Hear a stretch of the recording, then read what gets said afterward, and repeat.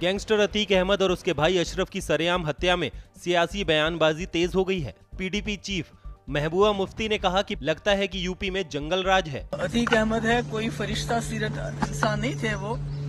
मगर पुलिस की कस्टडी में जिस तरह से उनकी हलाकत हुई लगता है कि यूपी में जंगल राज है। वहीं बिहार के सीएम नीतीश कुमार ने कहा कि जो भी जेल में जाएगा तो क्या उसे मार देना चाहिए? क्या आप कोई जेल में हो, उसको इलाज के लिए ले जा रहे हैं, या किसी काम के लिए ले जा रहे हैं, और रास्ते में हो गया, ये बहुत दुखद है। इस पर तो निश्चित रूप से लोगों को एक्शन करना चाहिए।